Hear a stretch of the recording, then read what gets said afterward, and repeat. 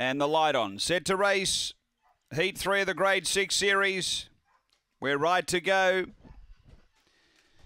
Ready and racing. And uh, speed coming out deep, trying to push over, but Burning Fee can't get there and beating it to the punch to the first bend is Manuka Boy. Uh, headed off now by Foxy Fudge. So Foxy Fudge led. Uh, Burning Fee around the outside. Then Bold Onyx. Next is Ballon Boy. Uh, then came McFrenzy. Behind those, Wishing You. Manuka Boy shuffled right back and then Velocity Centre. Up toward the turn. Leader is Roxy Fudge. It's nicely clear. Running on is Burning Fee. Roxy Fudge in front and held on. Roxy Fudge beats uh, Burning Fee second. McFrenzy should grab third and back on the inside, Bold. Uh, then Wishing You.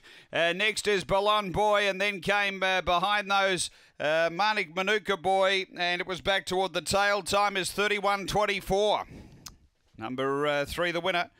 Uh, which is Roxy Fudge for Damien Bates. Roxy Fudge, too good. Number three, uh, second, going to seven, Burning Fee. And uh, third going to six, McFrenzy. Uh, so Roxy Fudge, uh, Damien Bates, seven second, Burning Fee, Graham Sterling, and third to six, which is McFrenzy, Des Hockley. Three, seven, six, one after race five at Gawler.